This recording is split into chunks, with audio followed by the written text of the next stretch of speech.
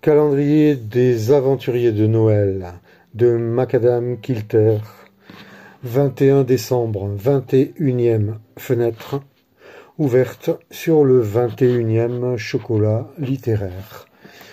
Aujourd'hui, une histoire de Cabby Gray qui s'intitule Leçon de patience.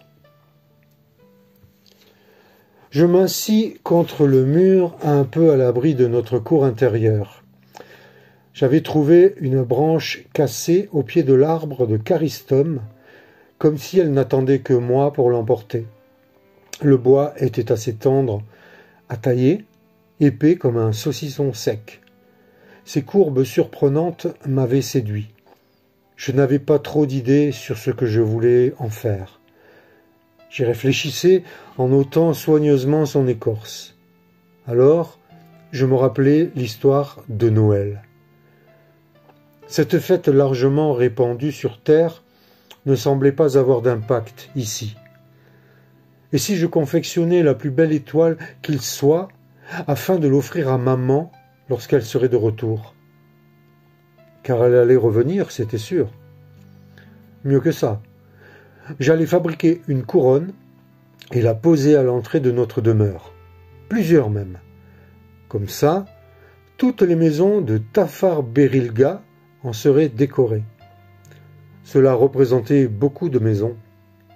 Tant pis. Le peu qui sera fait sera pas mal. Hum. J'entendais déjà mon frère me tomber dessus à coups de wep. Tu dis que tu veux travailler la méca avec nous et tout ce que tu trouves à faire, ce sont des choses inutiles. Et alors? Oui, j'aime la mécanique, mais moi au moins je pense aux autres. Je pense à maman. Bon, d'accord, Gove aussi pensait à elle. Il va me tuer si je vous le raconte, mais il lui arrivait encore de pleurer. Peut-être que bricoler des Space VTT et divers bolides l'empêchait de trop y songer, ce qui lui donnait l'air de l'avoir oublié. Mais il avait fait un truc. Il ne l'a dévoilé à personne. Il le planque même, bien comme il faut. Mais moi je l'ai vu. Sa coquille d'escargot, vous, vous souvenez? Celle par qui tout ça est arrivé, celle pour laquelle nous sommes là aujourd'hui. Eh bien, il l'a serti sur un rouage qu'il a déniché dans le tas de ferraille du hangar. Il s'en est fait un pendentif. Je mettrai ma main à couper qu'il observe son collier tous les soirs en pensant à notre mère et que c'est pour ça qu'il verse sa petite larme. Soudain, des bruits de chaussures, Quelqu'un pénétrait dans la cour. De crainte que ce soit Gauvran, je planquai mon ouvrage derrière moi. Je n'étais pas frais pour avoir des remontées de bretelles, au lieu de quoi Ezo passa le porche. Je fus tout heureux de la voir, mais ce bonheur se décrocha lorsque j'aperçus Mahé lui emboîter le pas, suivi de Lélie Siouli. Cette gamine avait encore grandi. Depuis notre arrivée au Léprida, elle avait poussé comme un champignon. Son corps s'étirait et ressemblait davantage à celui des précolipans préadultes. Elle faisait ma taille à présent. Et ce n'était pas tout. Comme sa regrettée mère, des tatouages sous-cutanés apparaissaient très distinctement sous sa peau diaphane. Son physique était aussi perturbant que celui des os. Qu'est-ce que tu fais? me lança ma sœur dans un large sourire. Occupe-toi de tes fesses. Ezo me fit immédiatement les gros yeux. C'est que je n'aimais pas être démasqué. Non mais. Je suis sûr qu'elle va aller tout balancer à Govran, me dédouanai-je.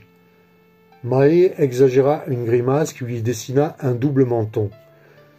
C'est bon, faut le dire si tu préfères être seul avec ton crush. Je me mis à rougir. Pourtant, Ezo et moi faisions attention à rester discrets. J'avais le seum ou quoi? Bon allez, tu fais quoi?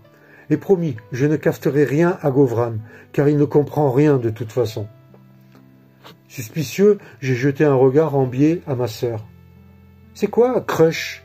demanda Ezo, m'enfonçant un peu plus dans l'embarras. C'est toi, répondit Mahé du tac. Allez, montre. Ma pauvre Ezo rosie, plissa ses yeux magnifiques et fit l'une des moues les plus adorables que Galatsaya ait jamais portées. Elle me rendait raide dingue. Je tirai mon morceau de bois de derrière mon dos. Tu fabriques une baguette sans jouer à ma frangine? Une baguette? Pourquoi n'y avais-je pas songé? C'est clair qu'avec sa nouvelle condition, j'aurais pu compléter la panoplie de sorcières de Mahé. Je gardais l'idée dans un coin du cerveau. Non, je veux confectionner des couronnes pour Noël. Pour le père Pontarion? Non, pour la fête. Mais je peux lui en faire une, ouais, pourquoi pas. J'espère que ça lui fera plaisir. Extrait Urana, tome 2. C'était l'histoire de Cabby Gray. Cabby Gray, je m'invente des histoires à travers l'écrit et le dessin depuis que je sais tenir un crayon et rêver. Qu'outre donc mon activité d'auteur, je suis graphiste pour les écrivains et enseignante en arts appliqués, design, depuis 26 ans. Si vous avez aimé l'histoire de Cabby Gray, si vous aimez le calendrier de l'avant de Macadam Kilter, aimez, likez, partagez, commentez, abonnez-vous à Cabby Gray, abonnez-vous à Macadam Kilter, et moi je vous dis à demain.